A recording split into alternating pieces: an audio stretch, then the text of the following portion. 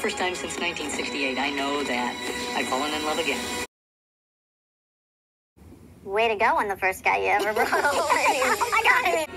I am in love with you. I'm in love with Theresa. Wondering if the lifestyle would be a turnoff. I, I am completely comfortable with this. Would you say it? I don't say that.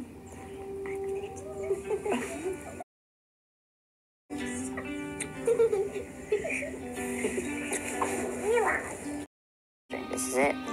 Hopefully Gerry's the one. A wise man told me, don't walk by an opportunity to tell someone that you love them. Leslie, I love you. Told me he loved me. I told him I loved him. He shared the same sentiment back. Told him I loved him. I hope he feels the same way. Leslie, will you accept this roast?